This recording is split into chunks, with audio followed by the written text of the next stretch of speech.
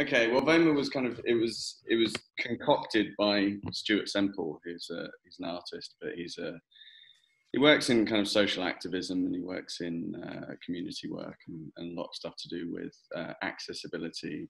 So the vision, really, from the very beginning, I think, and the reason he asked me to get involved was um, because I think we share um, this vision, which is very much about kind of giving access to art to as many people as possible because that is a problem. Um, and also giving, I'm, I'm very much on the, the other side of giving access to art for, uh, for people working within the arts as well, because I think there is a certain level of ignorance of large parts of, of the world and the world's art and the world's history and the world's culture um, that's been driven by our kind of bricks and mortar um, museum uh, and gallery uh, kind of uh, structure that we have at the moment. So basically, this seemed like a really amazing way to start to play with and um, expand upon the idea of what a museum is and what it can be,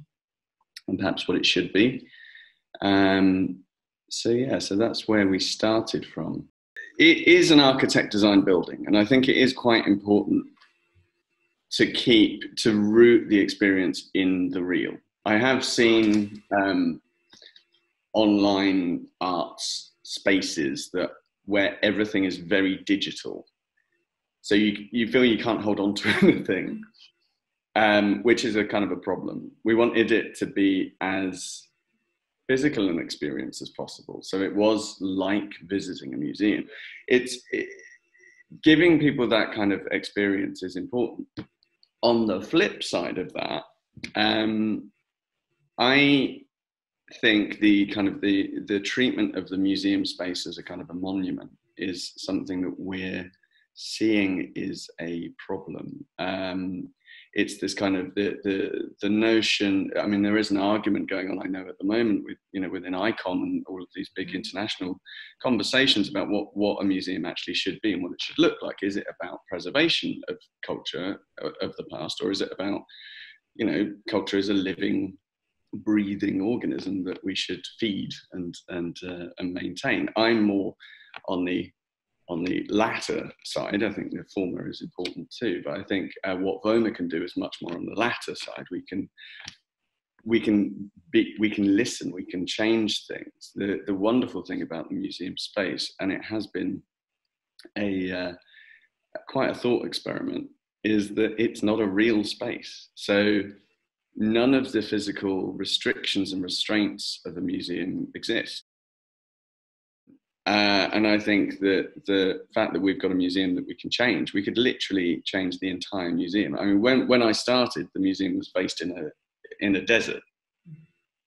And then I think we went through, it was sitting on the edge of a cliff at one point, and now it's by a lake. The thing is, we can change this what we have done is we've broken down the barriers. So you don't because it's not a real space you you can just teleport anywhere. You pull up a map and then click on it and you can arrive wherever you want to in the museum. If you don't want to walk across the space you don't have to because that could get quite tiresome. I mean i don't play computer games. Um, I've been talking to a lot of people that do, and the guys who designed it, you know, they work on the very high end games like you know Red Dead Redemption and all of these things that we all we all know. Um, so they're much more used to that environment and that being a kind of a game environment, and that's what you do.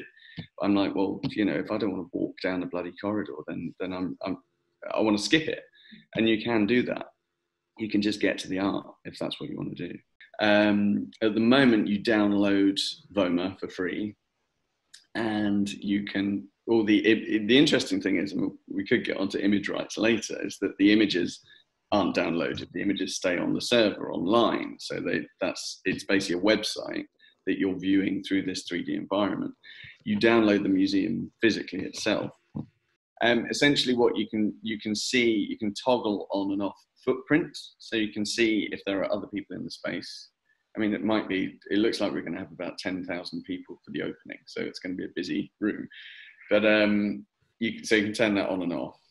You can have it so that people can chat to you. So essentially, they click on your footprint and they can just, it opens up a little chat box and you can have a little chat.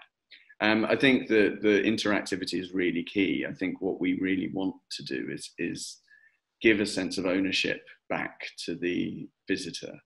Um, that's I think what scares people away from museums a lot. Um, it it still scares me away from you know galleries and museums. I, I don't always enjoy the experience because I don't feel welcome and I don't feel heard and I don't feel like uh, I don't feel smart enough.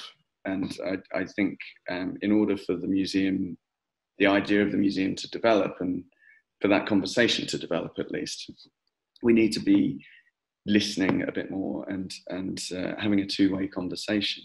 And I think the Corona thing has it's actually incredibly well timed in a way because I think the idea of a digital museum even a year ago would have been a little bit outlandish.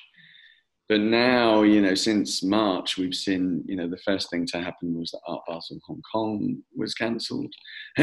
so we didn't we didn't go there. I always go to Hong Kong. Um, we didn't do that, and they had to quickly hurry through their um, their online viewing room experience so as a as a sur- you know a substitute, um, which everyone thought would be a terrible idea, but actually has played out across all of the art fairs. And I think you know the timing of this is interesting, but it has raised the the it's raised the fact that this this can be done online. You can enjoy culture online. Um, and you're not going to put that back in the box. You know, that's staying with us now. So I think we are having, there, there has been a, a gear change, which is really, and it's playing out now, and this will be playing out for a long time. And I'm really hoping, we're all uh, on the team, we're all hoping that VOMA can be central to that conversation and, and can host that conversation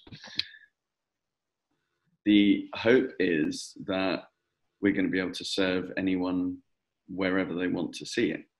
Um, question of that is, of course, you know, the internet isn't completely democratic. You know, you do have different tiers of internet. You, know, you have the first world internet, and then you have the third world internet, and we want it to work on all of those things because we need to be hearing from people all over the world, and we need this work to be getting to people all over the world in a way that art really hasn't.